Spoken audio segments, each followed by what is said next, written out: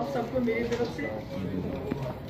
जैसा कि आप जानते हैं कि कल जो इलेक्शन चीफ इलेक्शन ऑफिसर हैं, उन्होंने एक नया फरमान जारी किया और जिसकी वजह से जो है बीजेपी के 25 लाख जो नॉन लोकल्स हैं वोटर्स उनको यहाँ इंक्लूड किया जाएगा। And I think this is the last nail in the coffin of electoral democracy पहले जो इन्होंने रिगिंग करनी थी, वो तो आधी रिगिंग कर दी डिलिमिटेशन कमीशन यहाँ बनाया।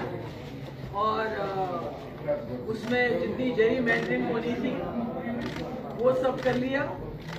और जिसका नतीजा ये हुआ कि जो उसकी हेड करती थी उस पैनल को, उसको बड़ी अच्छी तरह से रिहेबिलिटेट किया गया शी हैज़ बीन रिवॉर्डेड तो मेरा ये कहने का मकसद है, मैं लोगों के, अपने मुल्क के लोगों से कहना चाहती हूँ कि ये जो जमहूरी निज़ाम को यहाँ मस्क किया जा रहा है, डेमोक्रेसी को यहाँ खत्म किया जा रहा है, या मुल्क के लोगों को समझना चाहिए कि जो जम्मू कश्मीर एक मुस्लिम मेजोरिटी स्टेट ने इस मुल्क के साथ हाथ मिलाया था, ये सोच के कि अगर हम जमहूरी मुल्क का हिस्सा बनेंगे, राजा महाराजाओं की तानाशाही तानाशाही खत्म करके हम एक आज़ाद हिंदुस्तान, एक डेमोक्रेटिक सेकुलर हिंदुस्तान का हिस्सा बनेंगे। मगर उसके बाद जबकि पूरे मुल्क में डेमोक्रेसी हुई, हमारे यहाँ ऐसे कुछ वाकयात हो गए अनडेमोक्रेटिक तरीके से, जैसे शेख साहब को डिसमिस किया गया। उसके बाद कई ऐसी चीज़ें की गई कि लोगों का इलेक्शन से यहाँ बिल्कुल भरोसा उठ गया, क्योंकि उसके बाद जितने भी इलेक्शन हो गए, उसमें मेजोरिटी ऑफ़ द इलेक्शंस में जो एक वन साइडेड होता था, जिसके लोगों का भरोसा नहीं था। और 87 was the culmination of all the elections frauds of elections, जिसकी वजह से यहाँ के लोगों ने जो बहुत ही अमन पसंद लोग हैं, उन्होंने बंदूक उठाने पे मजबूर हो गए और आज तक हम उसका खिलियाजा भुगत रहे हैं। और शायद यही वजह है कि अटल बिहारी वाजपेयी साहब को रेड फोर्ट से ये ऐलान करना पड़ा। ट्वेंटी उन्नीस twenty twenty twenty it was two zero zero two 2002 में उनको ये ऐलान करना पड़ा कि हम जम्मू कश्मीर में fair free and fair election कराएँगे और उसके बाद इलेक्शन में बेहतरी आई और जम्मू कश्मीर के लोगों का इलेक्शन प्रोसेस में एक भरोसा हो गया। मगर जो हम आज देखते हैं, जो इस वक्त हो रहा है, ये जम्मू कश्मीर एक लेबोरेटरी बन चुका है बीजेपी के लिए। यहाँ वो तजुर्बा करते हैं, उसके बाद बाहर जाके उसको अप्लाई करते हैं। और जितना भी जो भी कुछ जम्मू कश्मीर में हो रहा है, ये इस फसाद में हो रहा है कि हम जम्मू कश्मीर को मुख्य धारा का हिस्सा बनाना चाहते हैं। हम इसका इंटीग्रेशन करना चाहते हैं कंट्री के साथ। तो मेरा मेरा तो ये है कि जो भी हमारे लोग, दुनिया, मुल्क के लोग, जो देशभक्त हैं, जो नेशनलिस्ट हैं, मैं उनकी बात नहीं कर रही हूँ कि जो, मैं उनकी, उन पार्टीज़ की भी बात कर रही हूँ जिन्होंने आज़ादी की लड़ाई लड़ी, कुर्बानियाँ दी। और इस मुल्क को जमहूरी सेकुलर मुल्क बनाया। मैं उनकी बात नहीं कर रही हूँ जिन्होंने अंग्रेज़ों से माफिया मांगी है। अंग्रेज़ों के साथ मिल के रहे, जिन्होंने अंग्रेज़ों के खिलाफ नहीं, बल्कि अंग्रेज़ों का साथ दिया मैं उन हिंदुस्तानियों से कहना चाहती हूँ कि आप समझिए, बीजेपी आपको हर गलत काम कॉन्स्टिट्यूशन को मलियामेट करके उसको भी नेशनलिज्म का नाम देती है, जो जम्मू कश्मीर में हो रहा है, ये सब वो कह रही है कि हम नेशनल इंटरेस्ट में करें। कुछ भी नेशनल इंटरेस्ट में नहीं हो रहा है सब कुछ बीजेपी के अपने इंटरेस्ट में हो रहा है। इन्होंने 2019 के बाद जम्मू कश्मीर में अनकॉन्स्टिट्यूशन तरीके से 370 हटाया 35 से हटाया स्पेशल पोजिशन हमारी खत्म की इंडियन कॉन्स्टिट्यूशन को सबवर्ट किया, और ये बताया आप लोगों को कि ये ज़रूरी है, ये नेशनल इंटरेस्ट में है। ये सब बीजेपी के अपने इंटरेस्ट में, क्योंकि उसके बाद हर इलेक्शन में इन्होंने जम्मू कश्मीर के प्लाट बेचना शुरू कर दिया इलेक्शन में, कि आपको प्लाट मिलेगा, हमने जम्मू कश्मीर में ये किया। और आज जो जम्मू कश्मीर एक तजुर्बा गाँव बन चुका है पूरे मुल्क के लिए, आज न सिर्फ़ जम्मू कश्मीर में डेमोक्रेसी खतरे में है, बल्कि अगर आप देखेंगे, ये रिगिंग का जो सिलसिला है, ये पूरे मुल्क में है। अब फ़र्क ये है कि कई स्टेट्स में रिगिंग इलेक्शन के दौरान होती है जिसमें एलिगेशन लगते हैं ईवीएम्स को इस्तेमाल किया जाता है, पैसे को इस्तेमाल किया जाता है मसल पावर इस्तेमाल किया जाता है। और दूसरा हिस्सा आपने देखा इलेक्शन के बाद किस तरह रिगिंग होती है, उस गोवा में देखा, आपने कर्नाटक में देखा, आपने मध्य प्रदेश में देखा, महाराष्ट्र में, हाल ही में देखा, और अभी झारखंड और राजस्थान लाइन में लगे हैं। जहाँ ये पैसे के बलबोते पे पावर के बलबोते पे और खासकर ईडी जो इनका अकलौता अलायंस पार्टनर है, उसके बलबोते पे रिगिंग करते हैं और रिज़ल्ट अपने हक में कर देते हैं। तो इसका मतलब है कि न सिर्फ़ ये जम्मू कश्मीर के लोगों को एक हिसाब से डिफ्रेंचाइज करना चाहते हैं, क्योंकि जब 25 लाख बीजेपी का वोटर बाहर से आएगा तो जम्मू के वोट का क्या फ़ायदा होगा, कश्मीर के वोट का क्या फ़ायदा होगा? तो इसी तरह मैं मुल्क के लोगों को बताना चाहती हूँ कि जब आप किसी को चुनते हैं, उसके बाद ये पैसा और ईडी का इस्तेमाल करके उस सरकार को गिरा के अपनी सरकार बनाते हैं तो बीजेपी का एक ही मकसद है किसी तरीके से हर जगह बीजेपी की सरकार बने और जो जम्मू कश्मीर वो अब करना चाहते हैं, वो भी इसलिए है कि वो किसी लोकल, किसी ऐसा करें कि जो कोई फासिस्ट लोकल होगा यहाँ, उसको रूलर बना के इन, इस फ्रॉड इलेक्शन के ज़रिए उसको यहाँ तैनात करें, ताकि जो इन्होंने यहाँ जम्मू कश्मीर में पिछले तीन साल से तीन साल हो गए इनको डायरेक्टली यहाँ रूल करते हुए। मगर उसके बावजूद भी ये ये यहाँ के लोगों का जो जो उनका जो उनका रिजॉल्व है, जो जो साइलेंट और पीसफुल उनका तरीका है रेजिस्ट करने का, उस रेजिस्टेंस को तोड़ नहीं सके। अब ये चाहते हैं कि किसी तरीके से चोर दरवाजे से इलेक्शन में 25 लाख बीजेपी के वोटर बाहर से लाके इस दरवाजे से, उस दरवाजे से लाके ये यहाँ किसी फासिस्ट को बिठा दें कुर्सी पे, ताकि यहाँ जो हमने पहले शुरू से ही कहा है कि यहाँ डेमोग्राफिक चेंजेस करना चाहते हैं। डेमोग्राफिक चेंजेस खाली मुसलमानों के लिए नहीं है, ये जम्मू के डोगरे के लिए भी है।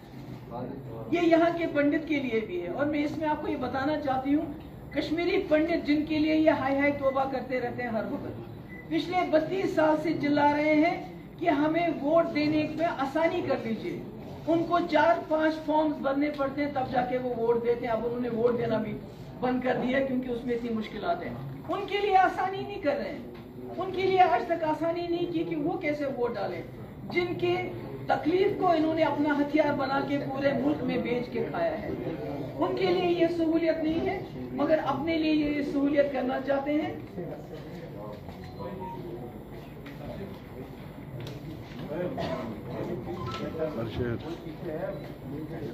मुल्क को समझना चाहिए कि जो जम्मू कश्मीर की समस्या है, वो बीजेपी की जो पॉलिसी अपनाना चाहती है बीजेपी यहाँ पर जो नाजी जर्मनी में पॉलिसी थी, जो इसराइल में पॉलिसी है, वो सोचते हैं ये पॉलिसी अपना के हम जम्मू कश्मीर के मसले को हल करेंगे और जम्मू कश्मीर में सरकार बना के पूरे मुल्क के अंदर उसी बलबोते पे और लोगों से वोट मांगेंगे और इसके अलावा बीजेपी का कोई कोई इरादा नहीं है।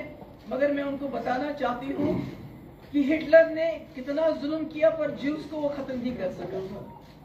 इसराइल कितना भी जुल्म करे तो फलस्तीन को खत्म नहीं कर सकता ना उनके रिजॉल्व को खत्म कर सकता है। इसी तरह जब तक एक डोगरा, एक कश्मीरी यहाँ बचा हुआ है तो वो जो जो बीजेपी के इवल डिज़ाइन हैं जम्मू कश्मीर को लेके वो उनको कामयाब नहीं होंगे, बल्कि उनको मुँह की खानी पड़ेगी, क्योंकि जो वो हालात बना रहे हैं, एक तरफ़ से वो डी रेडिकलाइजेशन पे सैकड़ों करोड़ रुपया खर्च करते हैं, और दूसरी तरफ़ से वो हर हरकत वो ऐसी करते हैं, जिससे यहाँ के नौजवान रेडिकलाइज हो सकते हैं, ज़्यादा ज़्यादा हो सकते हैं। क्योंकि पहले ही आपने 2019 में जो कांड किया, उसके बाद आप वहाँ नहीं रुके।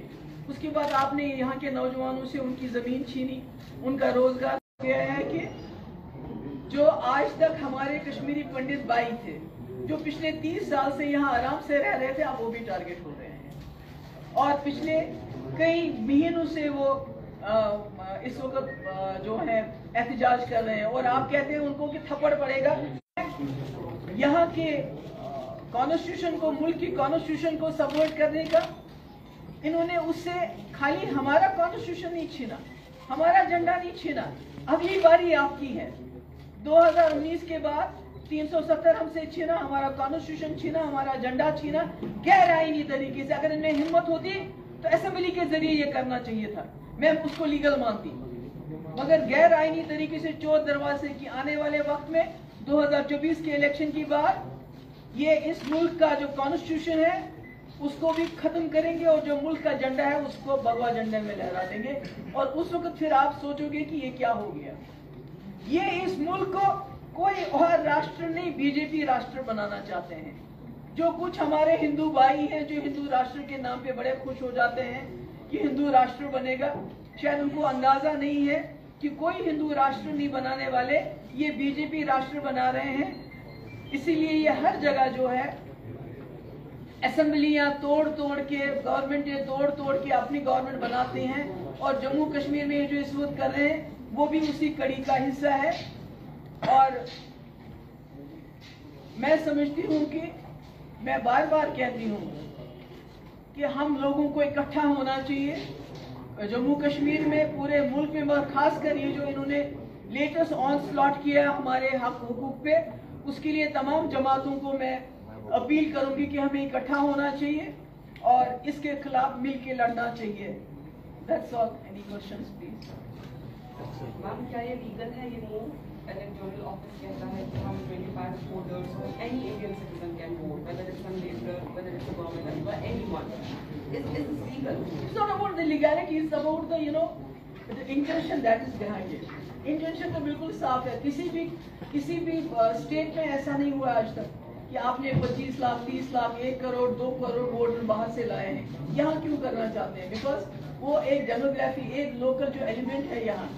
उसको चेंज करना चाहते हैं मुल्क में वो कहते हैं, हम इसलिए कर रहे हैं कि हम जम्मू कश्मीर को मुख्य धारा में मिलाना चाहते हैं और जम्मू में जब लोग सवाल करते हैं, उनको बोलते हैं, हम कश्मीरियों को सीधा कर रहे हैं It's not about legality or illegality about it. It's more about the intention behind it. intention से sounds आता है बिल्कुल, वो तो वो तो वो कर नहीं सकते थे जो उन्होंने पाँच अगस्त को किया दिल्ली सुप्रीम कोर्ट और अभी वो कुछ ऐसा नहीं कर सकते थे डिलिमिटेशन नहीं कर सकते but still they are not following any rule they are not following any rule whatever they are doing it is all unconstitutional Mehbooba ji what is the next course of action मतलब बयानबाजी तो हो गई कल भी आज what- नहीं मैंने अभी मैंने अभी फारूक साहब से बात की मैंने कहा चूँकि आप तो हमारे सबसे सीनियर लीडर हैं प्लीज़ आप ऑल पार्टी मीटिंग कॉल करें। तमाम जमातों के जो रिप्रेजेंटेटिव्स हैं, उनको बुलाएँ, ताकि जिनके साथ हमारे इख्तिलाफात भी हैं, जिनके साथ हमारे डिफरेंसेस हैं, क्योंकि इस वक्त ये जम्मू कश्मीर के लोगों के वजूद की बात है सर्वाइवल की बात है। मैंने उनसे बात की, मैंने उनसे रिक्वेस्ट की कि आप मीटिंग बुलाएँ, वहाँ पर डिस्कस होगा कि हमारा फ्यूचर कोर्स ऑफ़ एक्शन क्या होना चाहिए, इस चीज़ को रोकने के लिए। आपको नहीं लग रहा जिस तरीके से डेमोग्राफी को चेंज करने की कोशिश की जा रही है और टारगेट किलिंग्स भी जो पहले हो चुकी हैं काफ़ी। तो इस तरीके से जो भारी वोटर्स हैं, वो एक सॉफ्ट टारगेट बन सकते हैं फिर से। देखिए, अब ये इलेक्शन का मसला नहीं है। जो पार्टी इलेक्शन इलेक्शन करती रहती थी, उनके लिए भी ये सबक है। मुझे लगता है हमें अब रेजोल्यूशन ऑफ़ कश्मीर प्रॉब्लम पे ज़्यादा स्ट्रेस देना चाहिए, क्योंकि जब तक कश्मीर की समस्या रहेगी, तब तक बीजेपी जैसी जमातें इसका शॉर्टकट ढूंढती रहेंगी और इसको एक्सप्लॉइट करेंगी। क्योंकि जो हमारे यहाँ बच्चे रेडिकलाइज हो जाएँगे जो इस वक्त बंदूक उठा रहे हैं ज़्यादा लोग मिलिटेंसी में जा रहे हैं। हमारे कश्मीरी पंडित भाई अभी सुनील हमारा लड़का मारा गया। अ, हमारे पुलिस के लोग मारे जाते हैं सिक्योरिटी फोर्सेस के लोग मारे जाते हैं। हर एक खून की बूंद का की कीमत बीजेपी मुल्क में वसूल करती है अपने इलेक्टोरल बेनिफिट्स के लिए। अब क्योंकि जब पुलवामा में हमारे कई लोग शहीद हो गए।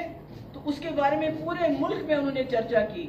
मगर जब चाइना ने हमारे 20 नौजवान मार दिए गए, उनको शहीद किया तो उस वक्त कोई आवाज़ नहीं निकली, क्योंकि उससे उनको इलेक्ट्रोल बेनिफिट नहीं मिल सकता। इसलिए जो कश्मीरी पंडित्स की पेन है, जो उनकी किलिंग है टारगेट किलिंग है, या हमारे सिक्योरिटी फोर्सेज मारे जाते हैं। या कोई और मारा जाता है, उसको वो खून जो है, वो बीजेपी के लिए आज वोटर का वोटर के उसमें शक्ल में उसको मुआवजा मिलता है। तो ये इस वक्त इलेक्शन की बात नहीं इट्स गॉन बियॉन्ड इलेक्शन मुझे लगता है कि हमारे तमाम पार्टीज़ को रेजोल्यूशन ऑफ़ कश्मीर की तरफ़ बढ़ना चाहिए।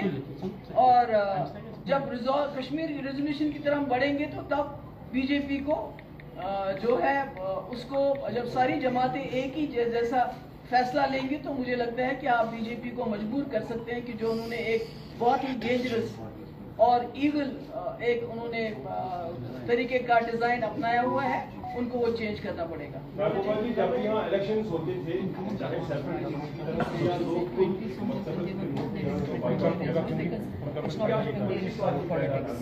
अब अगर इलेक्शन हो गए पहले से बैकआउट करते थे दोबारा उस पर और स्ट्रेस पड़ेगा। पच्चीस लाख की वजह से तो मुझे लगता है कि मैं गलत हूँ। मेन स्ट्रीम का तो रोल ही खत्म हो गया। नहीं that is what they want वही तो चाहते हैं वो मेन स्ट्रीम में इंटरेस्टेड नहीं है वो बीजेपी में इंटरेस्टेड है मैंने कहा ना वो कोई हिंदू राष्ट्र नहीं बनाना चाहते हैं वो इस मुल्क का कॉन्स्टिट्यूशन खत्म करके इस मुल्क के झंडे को भगवा झंडे में तब्दील करके बीजेपी राष्ट्र बनाना चाहते हैं What will be the next step of the mainstream? Because as you said that it was the last year. हाँ बिल्कुल किया उन्होंने मैंने कहा मैंने फारूक साहब से इल्तिजा की है कि वो ऑल पार्टी मीटिंग बुलाएँ और उसमें हम डिस्कस करें कि हमारा फ्यूचर कोर्स ऑफ़ एक्शन क्या होना चाहिए